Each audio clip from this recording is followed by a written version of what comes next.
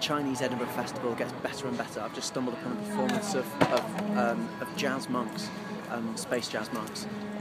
Um, they're about to do a dance, um, and I've seen them do one before, and it's amazing. Their leader um, in the in the blue uh, jazz monk suit was really incredible.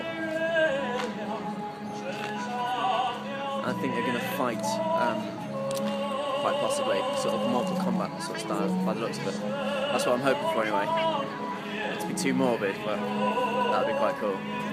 Finish him!